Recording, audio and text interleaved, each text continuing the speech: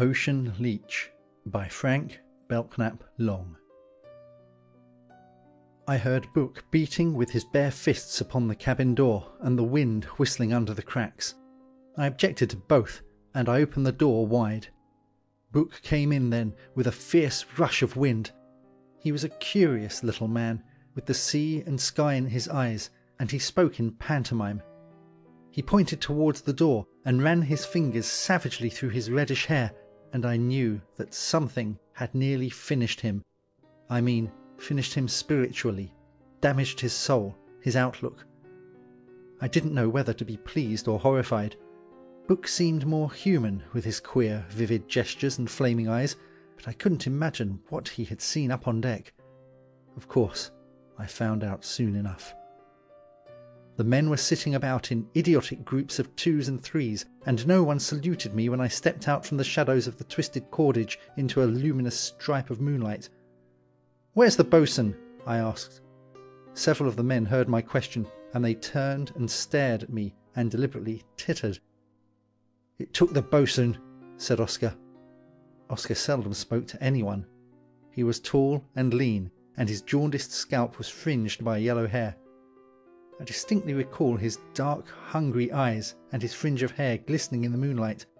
The rest of Oscar I can no longer visualize. He has faded into an indefinite ghost of memory.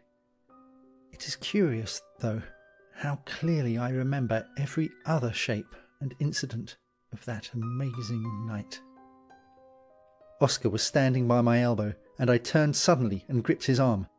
It reassured me to grip his strong, muscular arm but I know that I had hurt him, for his shoulder jerked and he looked at me reproachfully.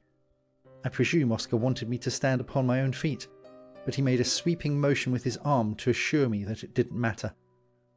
The wind whistled about our ears, and the tattered sails flapped and wheezed. Sails can speak, you know. I have heard sails protest in chorus, each sail with a slightly different accent. You get to understand their conversation in time. On still mornings it is wonderful to come up on deck and hear the sails whispering among themselves. They make gestures, too, and when they are tired they sway pathetically against the sky. I took a turn about the deck and bawled out the men and told them to go to the devil. Then I got my pipe out and blew grotesque yellow effigies into the cold air. They danced in the moonlight and made the situation irredeemable. I came back to Oscar eventually and asked him point blank what he meant by it. But Oscar didn't answer me. He simply turned and pointed. Something white and gelatinous oozed over the rail and ran or slid for several feet along the deck. Then a larger bulk seethed out of the darkness and stood poised above the black stern post. A second object descended upon the deck, coming down with a thud and running at a tangent with the first over the smooth, polished boards. I saw two of the men get quickly to their feet with wildish, jerky motions, and I heard Oscar shout out a curt command. The thing upon the deck spread out and became broader at its base. It reared into the air, a livid appendage encircled with monstrous pink suckers. We could see the suckers loathsomely at work in the moonlight, opening and closing and opening again we were affected by a queer aromatic stench, and we felt an overpowering sense of physical nausea. I saw one of the men reel backward and collapse upon the boards. Then a second idiot keeled over, and a third, a third actually advanced towards the loathsome object on his hands and knees, as if fascinated. At that moment, the moon seemed to draw nearer, to actually careen down the sky and hang above the cordage. Then suddenly the amorphous tentacles shot forward like released hawsers and struck against the nearest mast, and I heard a splintering and a noise like thunder. The arms quivered and seemed to fly in all directions. Then they flopped back over the side. I fastened my eyes upon our black topsail mastheads and questioned Oscar in a very low voice. Did that take the boatswain? Oscar nodded and shuffled his feet. The men on the deck whispered among themselves, and I knew intuitively that a spirit of rebellion was rife among them. And yet even Oscar exonerated me. Where would we have been if you hadn't brought us in here? Adrifting, probably, rudderless and sailless. Our sails may look like the skin on a waterlogged corpse, but we can use them when we can get the masts into shape. The lagoon looked innocent enough, and most of us were for coming in here. But now they whine like yellow puppies and blame it on you. The idiots. If you just say the word. I stopped him, for I didn't want the men to take his proposal seriously, and he spoke loud enough for them to hear. The men, I felt, were scarcely to blame, under the circumstances. How many times has the thing crawled over the sides? I asked. Eight times, said Oscar. It took the boatswain on the third trip. He shrieked and threw up his arms and turned yellow. It twined itself about his leg and set its great pink suckers to work on him, and the rest of us could do nothing. Nothing. We tried to get him away, but you cannot imagine the sheer pull of that white arm. It oozed slime all over him and all over the deck. Then it flopped back into the water and carried him with it. After that, we were more careful. I told the men to go below, but they only glowered at me. The thing fascinates them. They sit there and deliberately wait for it to return. You saw what happened just now. The thing can strike like a cobra, and it sticks closer than a lamprey. But the idiots won't be warned. And when I think of those quivering pink suckers, I feel sorry for them, and for myself. He didn't utter a sound, you understand but he turned livid under the gills and his tongue stuck out horribly. And just before he disappeared over the side, I noticed that his lips were all black and swollen. But as I told you, he was immersed in yellowish slime, in ooze, and the life must have gone out of him almost at once. I'm sure that he didn't really suffer. With God's help, it's we who have to suffer. Oscar, I said, I want you to be quite frank, and if necessary, even brutal. Do you think that you can explain that thing? I don't want any wretched theories, Oscar. I want you to fashion a prop for me, Oscar. Something for me to lean upon. I'm so very tired, and I haven't much authority here. Oh, yes, I'm supposed to be in command. But when there is nothing to go upon, Oscar, what can I say to them? How can I get them down into the cabin? I pity them so. What do you think it is, my friend? The thing is obviously a cephalopod, said Oscar, quite simply, but there was a look of shame and horror in his eyes, which I didn't like. An octopus, Oscar? Perhaps. Or a monstrous squid. Or some hideous, unclassified species. A fabric of greenish cloud covered the face of the moon, and I saw one of the men crawling on his hands and knees along the deck. Then he gave a sudden, defiant scream, ran to the rail, and held out his arms. A white exudation ran the length of the rail. It rose up and quivered amidst the illimitable shadows, and then it poured in an abominable stream over the scuppers and enveloped the hectic form of the wretch, and it made no sound. The poor fool tried to get away. He screamed, made shocking grimaces, fell down upon the deck, and tried to draw himself along by his hands. He pawed at the smooth, slippery surface, but the thing had wound its tenebrous tentacles about his leg, and it pulled him. It pulled him slowly and hideously.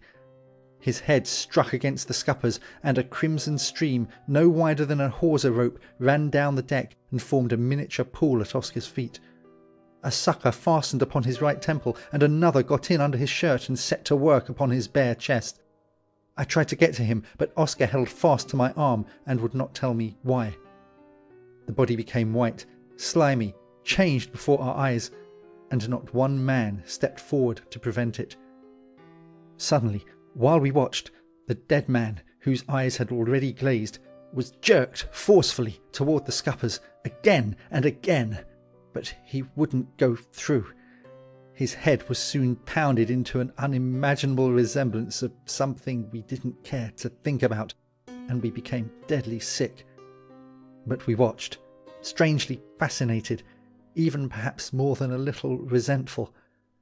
We were watching something brutal and incredibly alive, and we beheld it in an unrestrained exercise of all its faculties. There, under a shrouded moon, in the phosphorescent wilderness of exotic waters, we saw the law of man outraged by something mute, misshapen, blasphemous, and we saw industrious retching matter, brainless and self sufficient, obeying a law older than man, older than morality, older than sin. Here was life, absorbing another life, and doing it forcefully and without conscience, and becoming stronger and more exultant through the doing of it. But it couldn't get the body through the scuppers. It pulled and pulled and finally let go. The wind had gone down, and oddly enough, as it let go and fell back into the dead calm of the water, we heard an ominous splash. We rushed forward and surrounded the body. It seemed to swim in a river of white jelly. Oscar called for something which had become necessary, and we wrapped it up decently and threw it overboard. But Oscar repeated a few words mechanically out of the little black prayer book, which he imagined were appropriate. I stood and stared at the dark opening in the forecastle. I don't know to this day how I got the men through that dark opening, but I did it with Oscar's aid. I can see Oscar standing with his glistening head against a voiceless wilderness of stars. I can see him shaking his fists at the slinking cowards on the deck, or shrieking out commands, or were they insults? I know that I stepped forward and helped him, and I think I must have used my fists, for later on I discovered that my knuckles were bruised and discoloured, and Oscar had to bandage them. It is queer how Oscar has faded in my memory, for I thought a great deal of him, in spite of his queer ways, and his large, hungry eyes, and his fringe of yellow hair. He helped me get the men into the forecastle, and so did Bouc. Bouc, with perfectly horrified face, and with lips quivering and struggling with a vicious inarticulateness. We drove them in like sheep, but sheep often rebel and are troublesome. But we got them in, and then we turned and looked back at the gaunt masts swaying soullessly against the lifeless, sombre regularity of calm sea and sky, at the hanging ropes and frizzled sails, and at the long, moon washed rails and the encrimsoned scuppers. We heard Bouc inside, blubbering idiotically to the men. Then something made a dreadful, gurgling sound in the water, and we heard a loud splash. It's risen again, said Oscar in a tone of despair.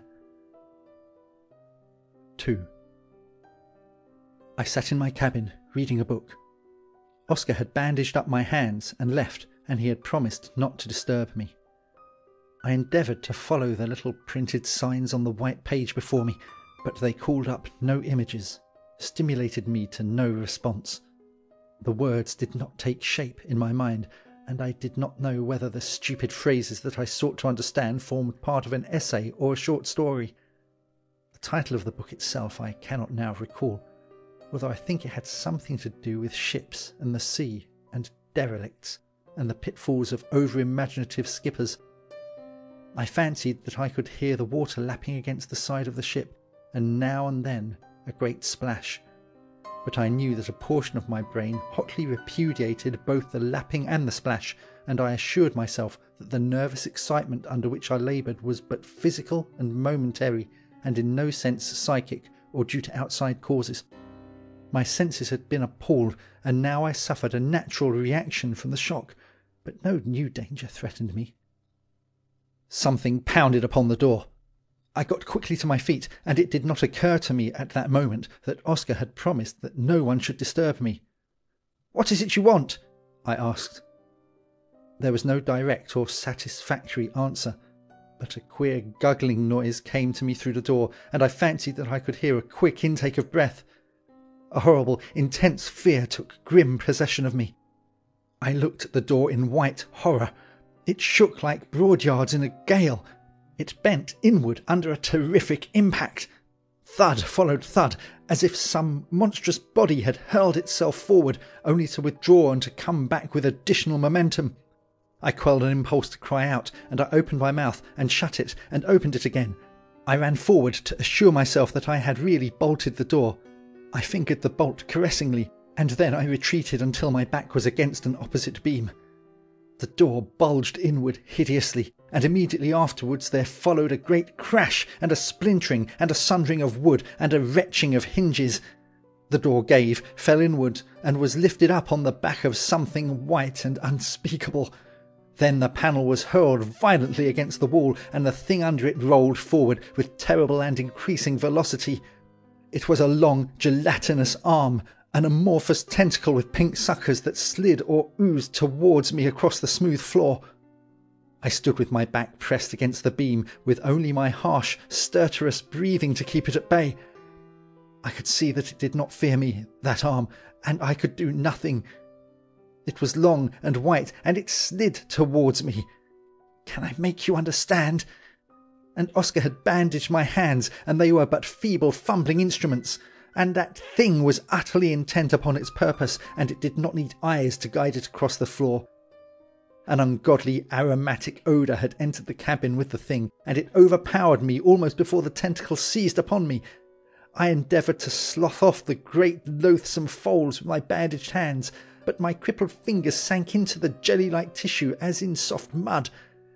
It was palpitating, living tissue, but it seemed to lack substantial body, and it gave horribly. It gave. My hands went right through it, and yet when it gripped me, it was elastic and it could tighten its grip. It strangled me. I felt that I could not breathe. I bent and twisted, but it had wound itself about me, and it held me, and I could do nothing. I remember that I called for Oscar, I shouted myself hoarse, and then I think I was dragged ruthlessly across the floor, through the smashed in door, and up the stairs. I remember now how my head pounded upon the stairs as we ascended, I and the thing, and I think that my scalp bled, and I know that I lost three teeth. I received dreadful blows, cuffs from the corners of stairs, from the edges of doors, and from the smooth, hard boards of the deck itself. The thing dragged me out across the deck, and I remember that I saw the moon through folds upon folds of obscenely bloating jelly. I was buried deep down within fatty, obscene folds that shivered and shook and palpitated in the moonlight. I no longer felt any desire to protest or to cry out, and the thought of Oscar and a possible rescue did not fill me with elation. I began to experience sensations of pleasure. How am I to describe them? A peculiar warmth pulsed through me. My limbs quivered with a weird expectancy. I saw through the folds of animate jelly a great reddish sucker or disc lined with silver teeth. I saw it descend rapidly through the folds.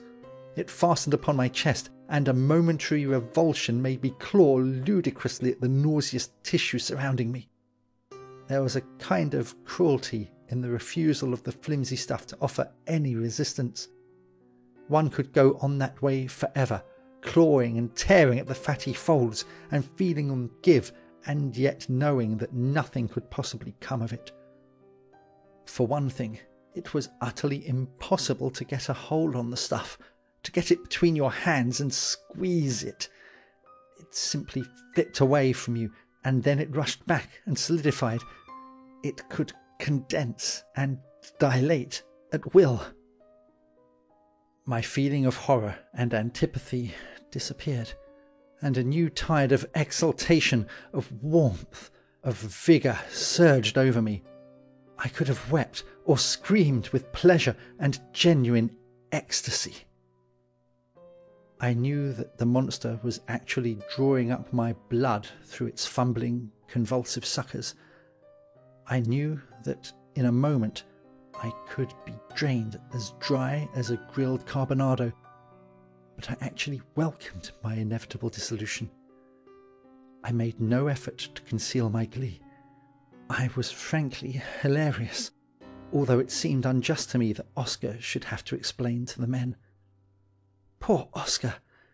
He tied up the loosened ends of things, smoothed over vulgar and disagreeable realities, made the raw, ungarnished facts almost acceptable, almost romantic. He was a precious stoic and gloriously self reliant. That I knew, and I pitied him. I distinctly recalled my last conversation with him. He was slouching along the docks with his hands in his pockets and a cigarette between his teeth. Oscar, I said, I didn't really suffer when that thing fastened upon me. I didn't, really. I enjoyed it. He scowled and scratched his ridiculous fringe of hair.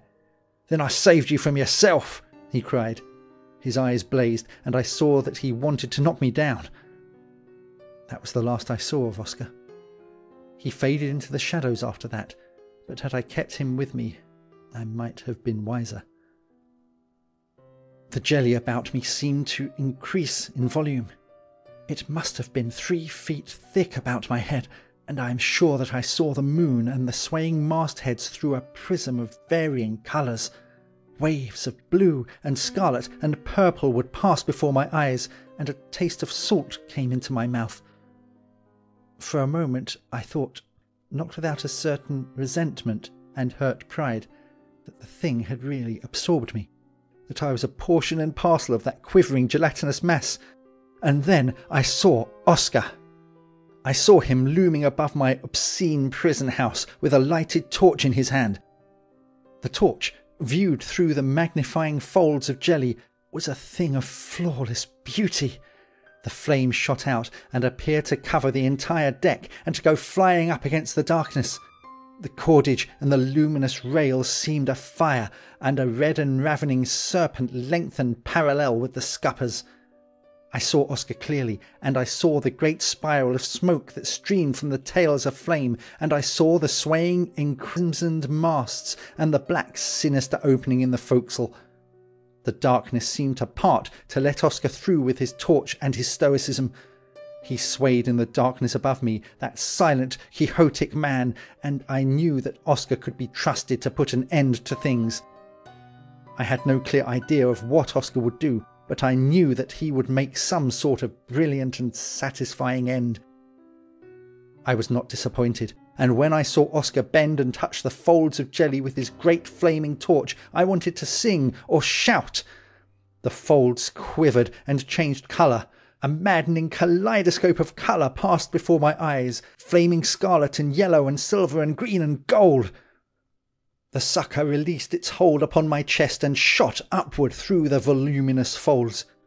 A terrific stench assailed my nostrils. The odour was unbearable. I threw out my arms and fought savagely to break through to reach the air and light and Oscar. Then I felt the heat of Oscar's torch upon my cheek, and I knew that the tissue about me was falling away and burning to shreds. I saw that it was dissolving also, turning into oil, into grease, and I felt it hotly trickling down my knees and arms and thighs. I closed my lips tight to keep from swallowing large quantities of the nauseous fluid, and I turned my face to the deck to protect my eyes from the falling fragments of sizzling tissue. The creature was literally being burnt alive, and in my heart of hearts, I pitied it. When Oscar at length helped me to my feet, I saw the last of the thing disappear over the side. Its arms were horribly charred, and the suckers were gone, and I caught a momentary glimpse of dangling, frayed ends, and reddish knobs and bulging protuberances. Then we heard a splash and a queer guggling sound. We looked at the deck and saw that it was covered with greenish oil, and here and there great solid chunks of burnt tissue swam in the hideous porridge. Oscar bent and picked up one of the fragments. He turned it right side up in his hand so that the moonlight fell upon it. It contained in its five inch expanse a four inch sucker and the sucker opened and closed while Oscar held the thing in his hand. It fell from Oscar's hand like a leaden weight and bounded into the air. Oscar kicked it overboard and looked at me. I looked away towards the black topsail masthead.